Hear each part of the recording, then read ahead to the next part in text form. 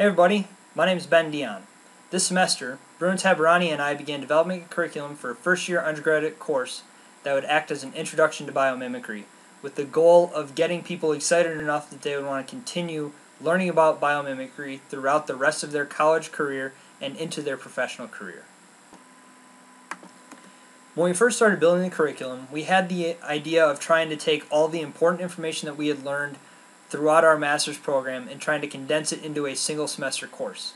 But after we talked to Michelle, we kind of realized that that's too much information for a first year undergraduate student to fully comprehend. And so we were kind of back to the drawing board.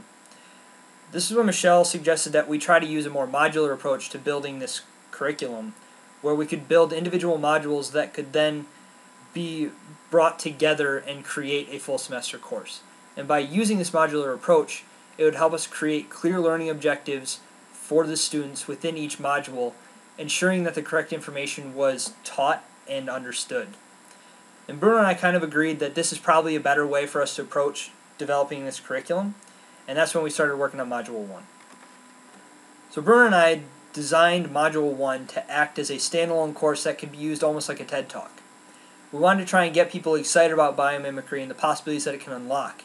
And so by building it in the style of a TED Talk, we could use it for various things, like for guest speaker appearances or as a first class period within a full semester long course. So to begin the module, we started by putting together an icebreaker that would allow students to, to start thinking about how organisms can help us solve human challenges.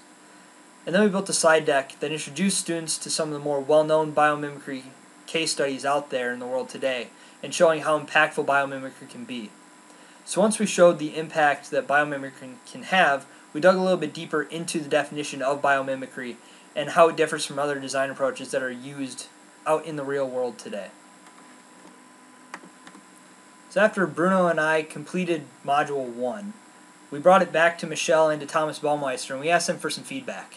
They provided us with a lot of really good suggestions which we then incorporated into the module.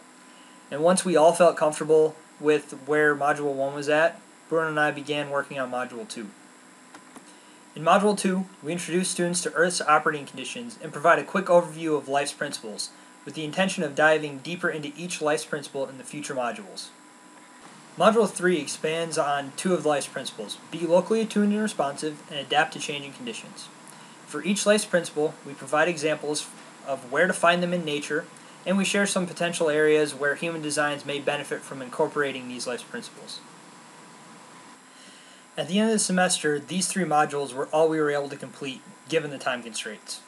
We do plan on continuing to build more modules after this class is complete, and we hope to eventually teach these courses at our local universities.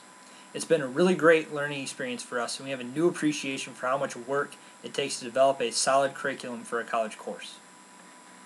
We cannot thank Michelle Fehler and Thomas Baumeister enough for the guidance they have provided us with throughout the semester. Without them, these modules would not have turned out as well as they did. We really couldn't have asked for a better support committee. So thank you again. We really appreciate it. Well, that's all that we have. So thank you all for watching, and I hope you enjoyed learning more about our project. Take care.